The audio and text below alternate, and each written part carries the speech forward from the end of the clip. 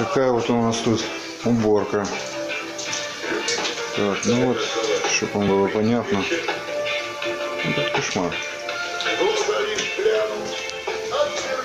Сейчас мы все это будем вычищать.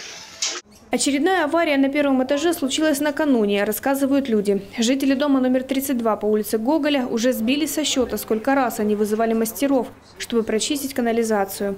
Ольга Сенаторова рассказывает, в первый раз неприятный запах в подъезде появился еще 15 сентября. Очаг нашли, но попасть в помещение оказалось невозможно, жалуется женщина.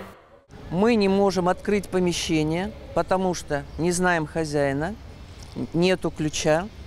Поехали в департамент ДИЗО к Борисову.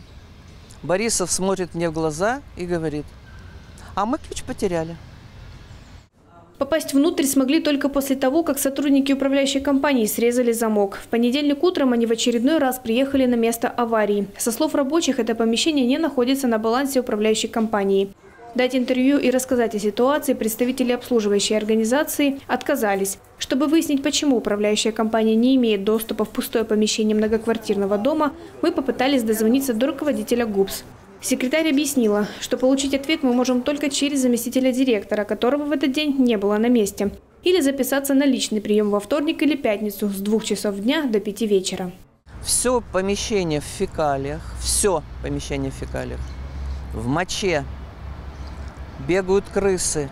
И это длится с числа 14. Вы представляете, что там творится? Чем мы дышим, какая инфекция? За этой стеной находится жилое помещение, 23-я квартира.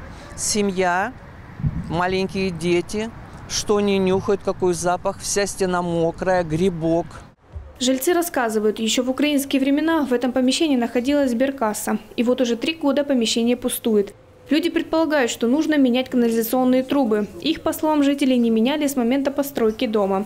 Редакция нашего телеканала направила запрос в Департамент имущественных и земельных отношений правительства Севастополя, чтобы выяснить, кто несет ответственность за содержание пустующих помещений.